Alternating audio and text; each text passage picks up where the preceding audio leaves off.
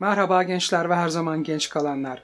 İleride lehimleme ile ilgili daha kapsamlı bir video çekeceğim ama bugün size lehim pastalarından bahsetmek ve kendi lehim pastanızı nasıl yapacağınızı göstermek istiyorum. Yıllardır mesleği elektronik ve üretim olan insanların içindeyim ve henüz başkasının yaptığı lehimlemeyi beğenen biriyle karşılaşmadım. Yani lehimleme hakkında video çekmek için seçilebilecek en yanlış konulardan biri. İleride lehimleme ile ilgili daha kapsamlı bir video çekmeyi düşünüyorum ama bugün kullanılıp kullanılmaması konusunda bir mutabakatın dahi olmadığı, hakkında şehir efsaneleri dolaşan lehim pastalarından bahsetmek istiyorum. Lehimleme, lehimlenecek malzemelerden daha düşük sıcaklıkta eriyen bir metal ya da alaşımın lehimlenecek yüzeyler üzerinde fiziksel ve kimyasal bir bağ oluşturmasıdır diyebiliriz. Tabi söylemek yapmaktan kolaydır her zaman. Elektronik ve elektrik işlerinde kullandığımız lehim telleri içindeki kalay oranına bağlı olarak 183 ila 312 derece Celsius sıcaklıkta erirler. İşte bizim başımızın ağrımasına sebep olan şey buradaki yüksek sıcaklık. Ortamdaki havanın yaklaşık %20'sini oluşturan ve oldukça reaktif olan oksijen, yüzeyi zımparalamış olsanız bile daha siz havyanızı yaklaştırırken yüzeydeki metal atomlarıyla sıcaklık sayesinde artan bir hızda oksitler oluşturmaya başlar. Metallerin oksitleri pek çok bakımdan metallerle aynı özellikleri taşımaz ve bu okside olmuş yüzey fiziksel ve kimyasal bağların oluşmasında bir de iletkenlik konusunda hemen fark edemeyeceğimiz sorunlar çıkarır. Bazı lehim tellerinin içinde lehim pastası kanalları olsa da bu pasta çalışmaya başlayana kadar çoktan iş işten geçmiş olur. Söz konusu olan okul projeniz ise bu sorun olmayabilir ama telefonla tamirci çağıramayacağınız bir uçak ya da uyduysa söz konusu olan size hayal edebileceğiniz en ciddi baş ağrısını yaşatabilir bu sorunlu lehimler. İşte burada sahneye lehim pastası dediğimiz kimyasallar giriyor. Lehim pastaları macun kıvamında ya da sıvı halde olabiliyor. Sıvı halde olanlarına flux deniyor. Ben videonun kalanında kendisinden lehimleme sıvısı olarak bahsedeceğim. Lehimleme pastasının görevi asidik yapısı sayesinde yüzeydeki oksitleri temizlemek ve lehimleme süresince örtücü bir tabaka oluşturarak oksitlenmeyi engellemektir. Yüzey montaj devre elemanlarını seri üretim sürecinde geçici olarak yerinde tutmak da bazı lehimleme sıvılarından beklenen görevler arasındadır. Lehimleme pastalarını temelde dört gruba ayırmak mümkün. RO, rosin, Az sonra yapacağım çam ağacı reçinesi kullanılarak üretilmiş pasta ve lehimleme sıvılarına verilen genel isim. Kullanılan çözücü ve katkı maddelerine göre yine 4 alt gruba ayırmak mümkün ama o kadar detaya bu videoda gerek olmadığını düşünüyorum. RE, resin, sentetik reçine kullanılarak üretilmiş kimyasallardır. Daha az asidik ve arkasında daha az atık madde bırakan lehimleme sıvısı tipidir. No clean yani temizlenmesi gerekmeyen lehimleme sıvısı olarak satılır ama bu seri üretim şartlarında ve özel durumlarda geçerlidir. Elektronikle uğraşıyorsanız ve gigahertzlere yakın frekanslarda çalışıyorsanız lehimlemede kullandığınız kimyasalları temizlememek gibi bir lüksünüz yok. ORE yani organik lehimleme sıvısı Reçine asitleri yerine stiarik, laktik, sitrik asit kullanılarak üretilmiştir. Reçineden yapılan flakslara göre daha güçlüdür ama lehimleme sonrasında bıraktığı atıkların iletken olması gibi bir sorunu vardır. Suyla bile temizlenebiliyor olması işin güzel tarafı. Sonuçta her lehimleme sıvısını bir şekilde temizlemek gerekiyor. IN İnorganik lehimleme sıvısı, kuvvetli asitler kullanılarak üretilmiş bir kimyasal grubudur. Elektronikten çok boru, çaydanlık, metal eşya lehimlemede kullanılır.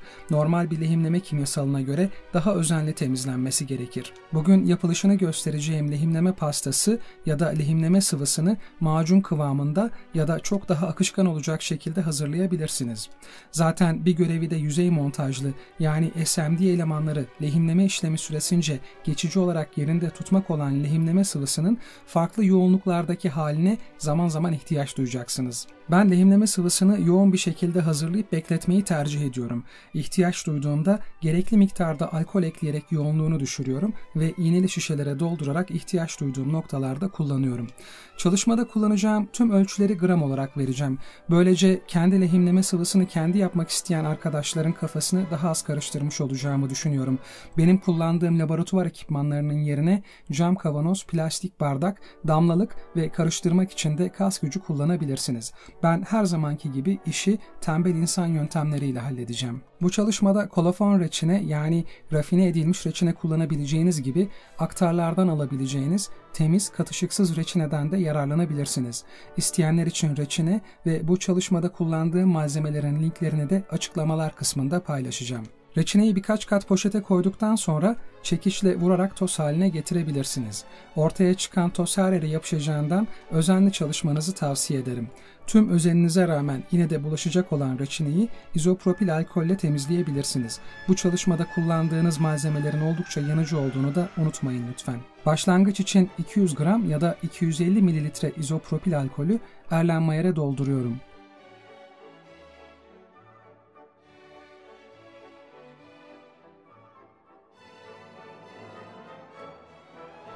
Daha sonra 30 gram reçine ilave ederek manyetik karıştırıcının manyetik balık olarak adlandırılan parçasını Erlenmayer'e atıyorum.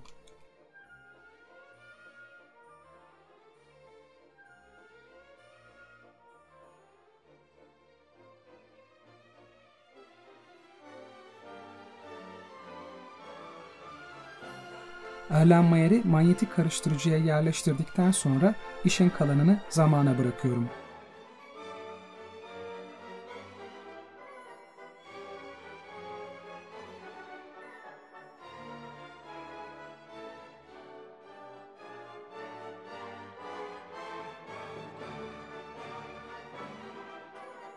Biraz yoğun bir lehimleme sıvısı istediğim için 10 gram daha reçine ilave ediyorum çözeltiye ve biraz daha karıştırıyorum.